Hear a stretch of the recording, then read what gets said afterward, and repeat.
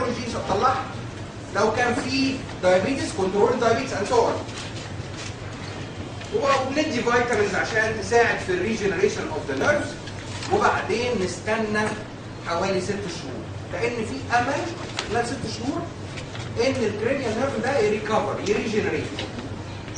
لو حصل له بعد ست شهور regeneration وتمام الكلام خلاص انتهت القصة.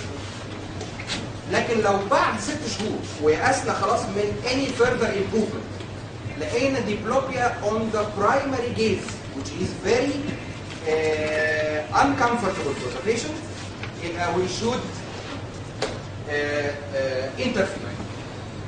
طبعا إحنا في فترة الست شهور دي بنحط كفر على العين التانية أو نحط بريزم نحط prism يخلي العيان ده يجيله الصورة على ال fovea بتاعته من غير diplopia يعني مثلا لو أنا عيني دي طالعة خلينا نتكلم على 6 nerve paralysis العين اليمين داخلة لجوه. وال fovea بتاعتها داخلة هنا. وال object بينزل على nasal point وهو ده سبب ال diplopia طب ما أنا أحط له prism ال apex بتاعته ناحية ال deviation كأنه سهم بيشاور على ال deviation فين؟ فال prism ده ال base بتاعته هنا وال apex بتاعه هنا. ال light ray اللي جاي كده هيقوم معوج ناحية ال base ويقوم داخل على ال fovea حيثما كانت فمش هيبقى فيه diplopia بس شرط إنك تحط ال prism على قد ال deviation بالظبط.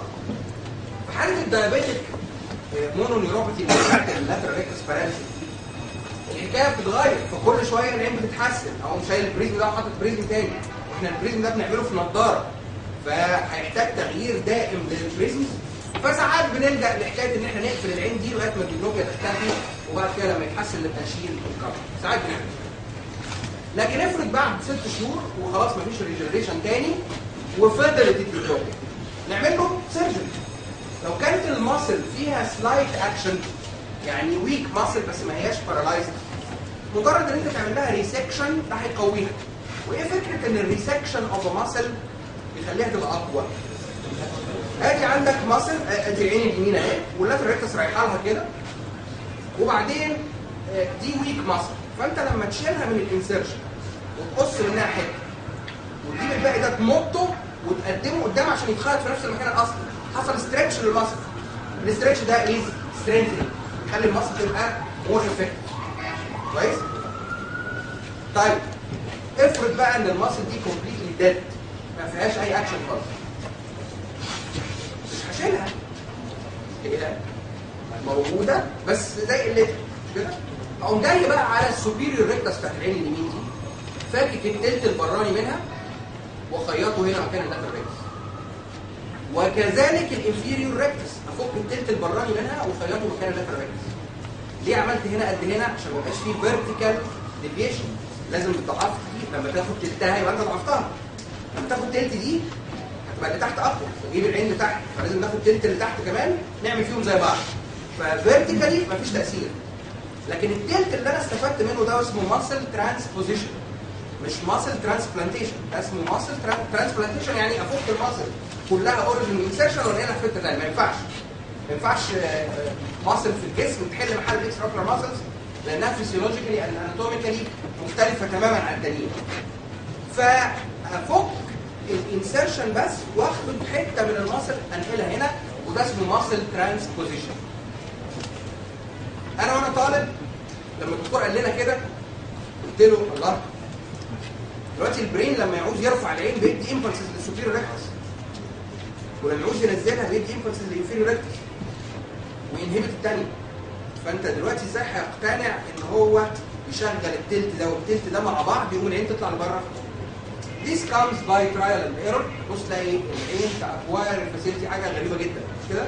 هلاقي إن ال brain هلاقي إنه specifically لو إدى impulse للتلت ده مع التلت ده العين تطلع لبره يقوم يبدأ يشغل دي ودي صورة العملية ادي ال superior rectus وادي ال inferior rectus وده التلت اللي خدناه خيطناه هنا وده التلت اللي خدناه خيطناه هنا. يبقى إحنا كأننا we created another lateral rectus هل في فايدة إن أنا أقص ال lateral rectus دي وأرميها بره؟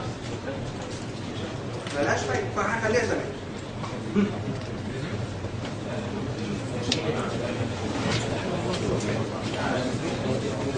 ممكن نسمع سؤال السؤال مش معناه إن إحنا نتكلم اطلاقا ها.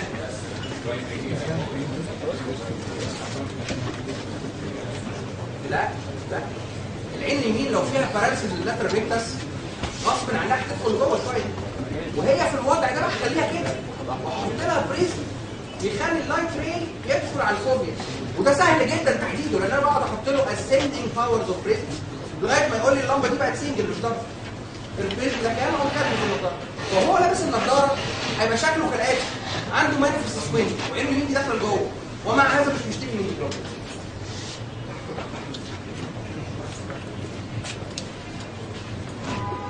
آه، أنا أفهم إن لما ال lateral rectus paralysed تقوم العين داخلة لجوه لأن ال medial rectus هتاخد العين ناحيتها.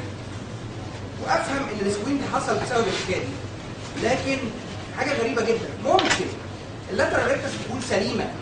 والعين برضه تدخل لجوه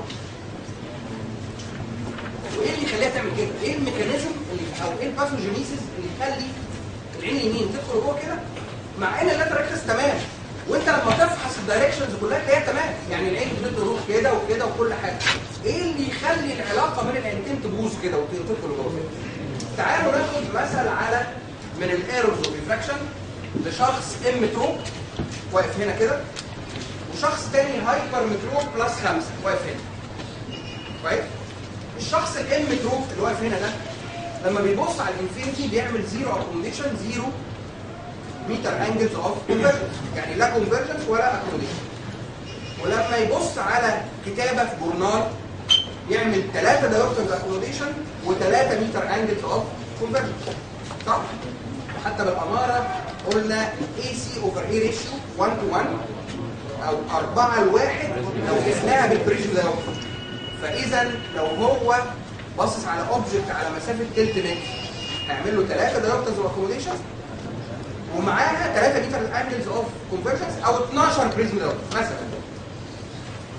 تعال بقى على الشخص الثاني اللي عنده hyperopia plus 5 في العينتين الجدع ده كده وهو باصص على ال infinity ال parallel rays متجمعة ورا ال retina. وعنده أحد حلين.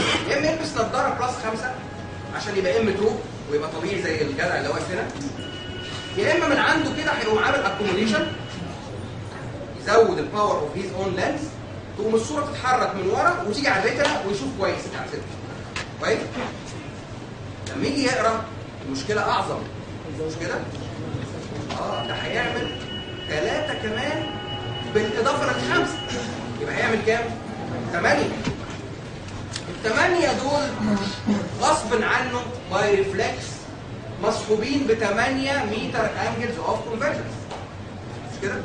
هو الوضع الأمثل زي ال emmetrope ده إنه لما object يكون هنا يعمل له 3 meter angles عشان ينشله على ال object وثلاثه dioptres of accommodation هيشوفوا واضح وكمان هيشوفوا single لأنه هينزل هنا على الفوفيا وهنا على الفوفيا تعال بقى على الثاني ده.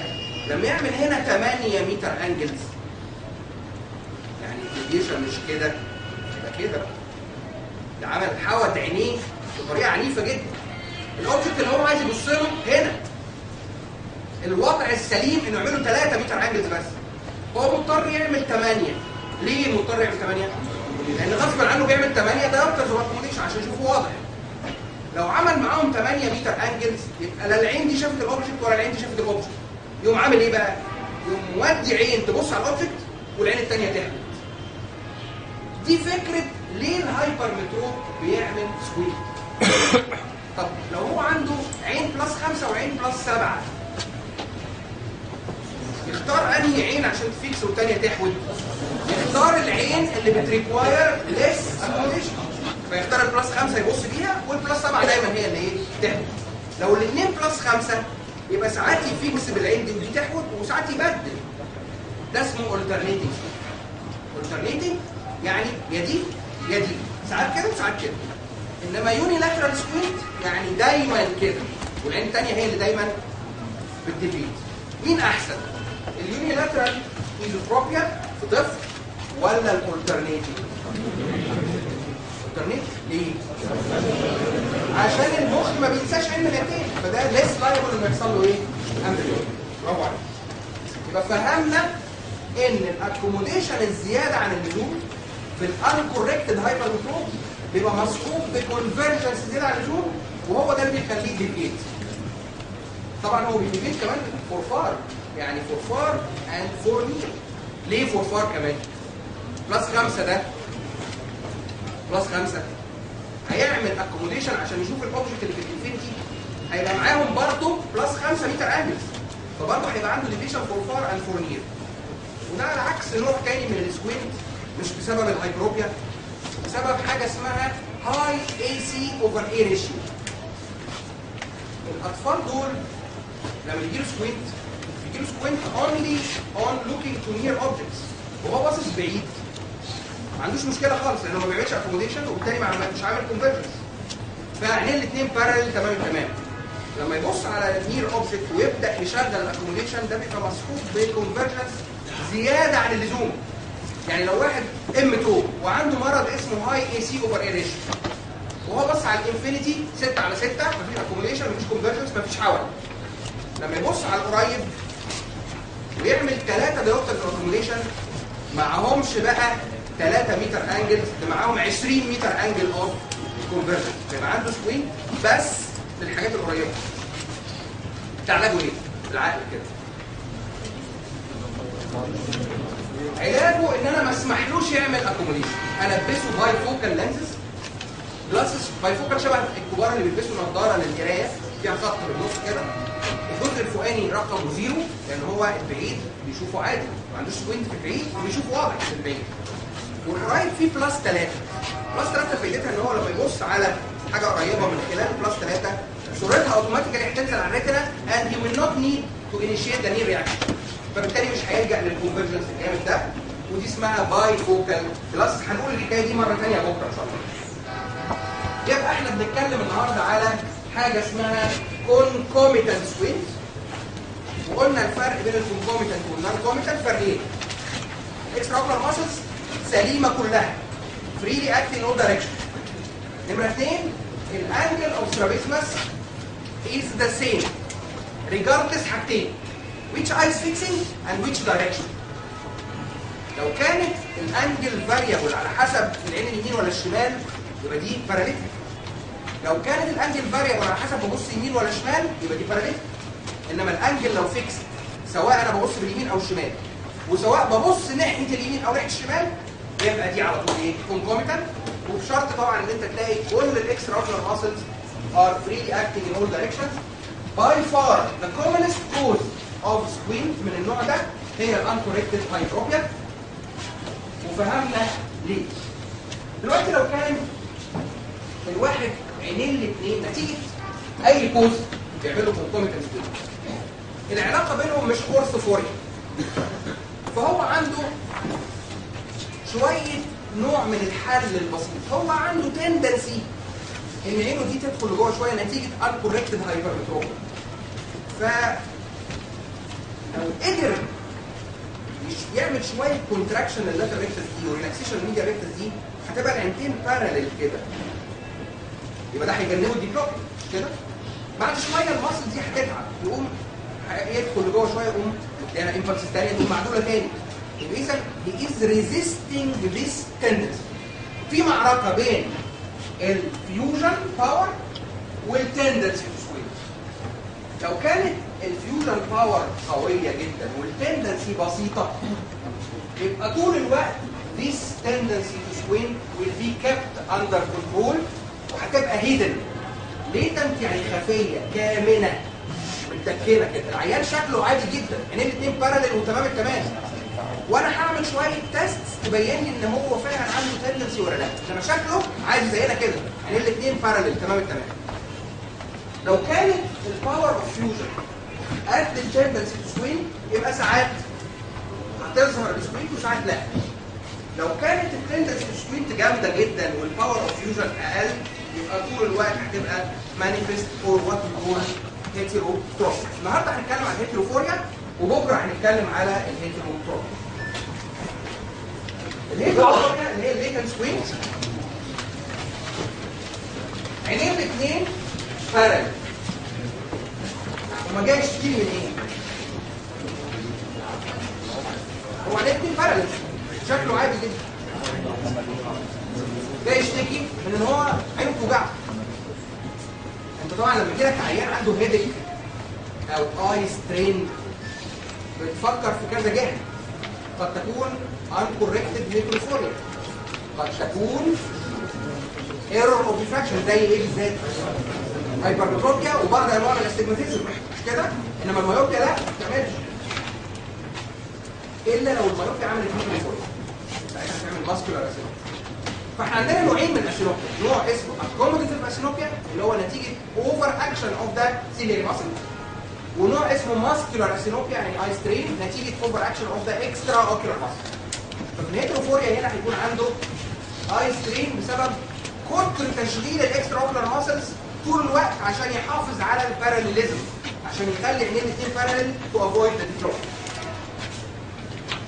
لو أنت خبيت عين من الاثنين العين دي الوضع بتاعها ال resting إنها تطلع لبره أو تدخل جوه أو ساعات تطلع لفوق. المهم إنه هياخد راحته تحت الكفر. أول ما تشيل الكفر يلاقي دبل يقوم على طول إيه مظبط نفسه ويخلي عينين الاثنين باراليل يبقى اذا هو قبل التست عينيه باراليل كده. تعمل له